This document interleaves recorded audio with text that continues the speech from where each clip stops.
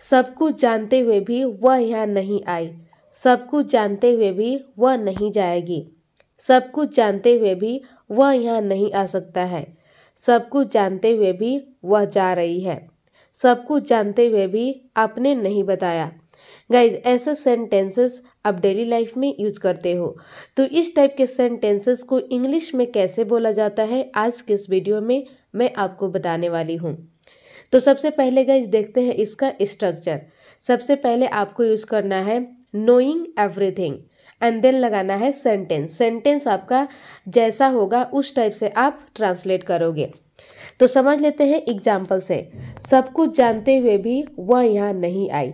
तो सबसे पहले दोस्तों अकॉर्डिंग टू रूल आपको यूज़ करना है नोइंग एवरीथिंग इसके बाद लगाना है सेंटेंस सेंटेंस है, वह यहाँ नहीं आई। अब ये सेंटेंस है पास्ट इंडेफिनिट का। और पास्ट इंडेफिनिट का नेगेटिव वाला स्ट्रक्चर हो जाता है subject plus did not plus verb की first form and then object तो वह यहाँ नहीं आई। तो इसका इंग्लिश बनेगा शी डिंट कम हेयर तो आपका कंप्लीट सेंटेंस हो गया दोस्तों knowing everything she didn't come here it means सब कुछ जानते हुए भी वह यहाँ नहीं आई। क्लियर अगला एग्ज़ाम्पल है, सब कुछ जानते हुए भी वह नहीं जाएगी। तो सबसे पहले आपको लगाना है नोइंग एवरीथिंग एंड देन लगाना है सेंटेंस सेंटेंस है, वह नहीं जाएगी।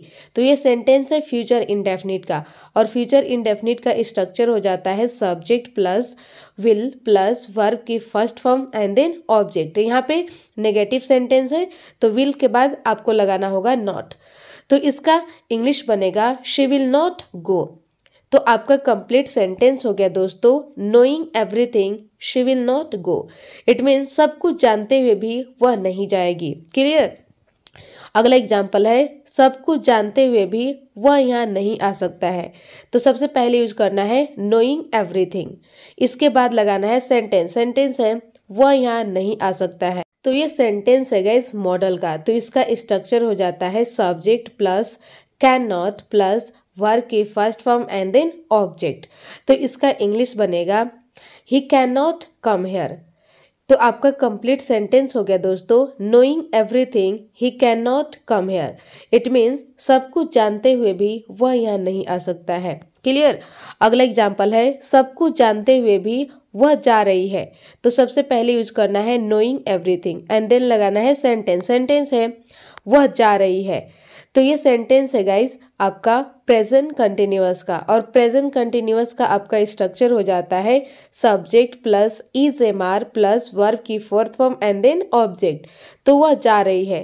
तो इसका इंग्लिश बनेगा शी इज़ गोइंग तो आपका कंप्लीट सेंटेंस हो गया दोस्तों knowing everything she is going it means सब कुछ जानते हुए भी वह जा रही है। क्लियर अगला एग्ज़ाम्पल है, सब कुछ जानते हुए भी आपने नहीं बताया।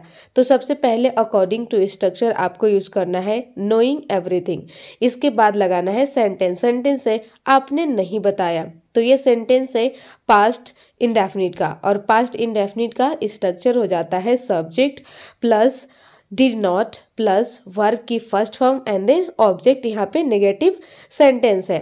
तो इसका इंग्लिश बनेगा यू डिंट टेल तो आपका कंप्लीट सेंटेंस हो गया दोस्तों knowing everything you didn't tell it mean सब कुछ जानते हुए भी आपने नहीं बताया. क्लियर गाइज़ ऐसे सेंटेंसेस भी आप डेली लाइफ में यूज़ करते हो. जैसे, मेरी बेटी बाज़ार जाने को ठान ली है.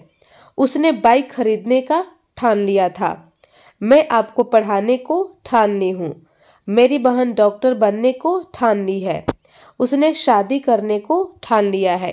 गाइज़ इस टाइप के सेंटेंसेस भी आप यूज़ करते हो। तो जब ऐसे सिचुएशन आ जाए गाइज़ तो आप इसे इंग्लिश में कैसे बोलोगे? तो सबसे पहले देख लेते हैं इसका स्ट्रक्चर सबसे पहले दोस्तों, आपको यूज़ करना है सब्जेक्ट प्लस हैव या हैज़ आप यूज़ करोगे प्रेजेंट टाइम में। यदि सब्जेक्ट आपका ही शी इट और कोई थर्ड पर्सन सिंगुलर हो तो आपको लगाना है हैज़ और यदि सब्जेक्ट आपका आई यू वी दे और प्लूरल हो तो आपको यूज़ करना है हैड कब प्रेजेंट टाइम में। यदि दोस्तों आपको पास्ट टाइम में यूज़ करना होगा तो आप लगाओगे हैड ऑल सब्जेक्ट के साथ। इसके बाद लगाना है determine plus to plus verb की first form and then object तो गाइज़ देखते हैं एग्ज़ाम्पल मेरी बेटी बाज़ार जाने को ठान ली है, कब प्रेजेंट टाइम में ठान ली है? तो सबसे पहले अकॉर्डिंग टू रूल आपको यूज़ करना है सब्जेक्ट सब्जेक्ट है मेरी बेटी। इट मीन्स माई डॉटर अब माई डॉटर आपका सब्जेक्ट है, यानी सिंगुलर तो सिंगुलर के साथ आप क्या लगाओगे? हैज़ इसके बाद रूल कहता है कि आप यूज़ करो डिटरमिन प्लस टू इसके बाद वर्ब की फ़र्स्ट फॉर्म। वर्ब है बाज़ार जाना। It means go to market तो आपका कंप्लीट सेंटेंस हो गया दोस्तों। My daughter has determine to go to market it means मेरी बेटी बाज़ार जाने को ठान ली है। क्लियर अगला एग्ज़ाम्पल है। उसने बाइक खरीदने को ठान लिया था। कब ठान लिया था? पास्ट टाइम में। तो सबसे पहले यूज़ करना है subject according to rule subject है ही इसके बाद ये सेंटेंस है पास्ट का तो पास्ट में आपको यूज़ करना है हैड प्लस यूज़ करना है determine plus to plus verb की फ़र्स्ट फॉर्म वर्ब है बाइक खरीदना. It means purchase a bike तो आपका कंप्लीट सेंटेंस हो गया दोस्तों. He had determine to purchase a bike it means उसने बाइक खरीदने को ठान लिया था. क्लियर अगला एग्ज़ाम्पल है मैं आपको पढ़ाने को ठान ली हूँ। तो सबसे पहले लगाना है सब्जेक्ट सब्जेक्ट है आई और आई के साथ आपको यूज़ करना है हैव क्यों? क्योंकि ये सेंटेंस है प्रेजेंट का और प्रेजेंट में आपको यूज़ करना है हैव या हैज़ तो सब्जेक्ट आपका आई है और आई के साथ आपको यूज़ करना है हैव इसके बाद आपका रूल कहता है कि आप यूज़ करो determine plus to plus verb की first form and then object तो यहाँ पे गाइस आपका वर्ब है, आपको पढ़ाना। इट मीन्स टीच यू तो आपका कंप्लीट सेंटेंस हो गया दोस्तों I have determine to teach you it means मैं आपको पढ़ाने को ठान ली हूँ. क्लियर अगला एग्ज़ाम्पल है, मेरी बहन डॉक्टर बनने को ठान ली है. तो सबसे पहले गैस आपको अकॉर्डिंग टू रूल यूज़ करना है सब्जेक्ट सब्जेक्ट है मेरी बहन. इट मीन्स माई सिस्टर इसके बाद यूज़ करना है यहाँ पे हैज़ क्यों? क्योंकि आपका सब्जेक्ट है सिंगुलर और सिंगुलर के साथ यूज़ करना है हैज़ इसके बाद दोस्तों, आपका रूल कहता है कि आप यूज़ करो determine plus to plus verb की फ़र्स्ट फॉर्म। वर्ब है डॉक्टर बनना। It means become a doctor तो आपका कंप्लीट सेंटेंस हो गया दोस्तों। My sister has determine to become a doctor it means मेरी बहन डॉक्टर बनने को ठान ली है। क्लियर अगला एग्ज़ाम्पल है। उसने शादी करने को ठान लिया है। तो सबसे पहले यूज़ करना है सब्जेक्ट सब्जेक्ट है ही और ही के साथ यूज़ करना है has plus determine plus to plus verb की फ़र्स्ट फॉर्म वर्ब है शादी करना इट मीन्स गेट मैरिड तो आपका कंप्लीट सेंटेंस हो गया दोस्तों he has determine to get married it means उसने शादी करने को ठान लिया है।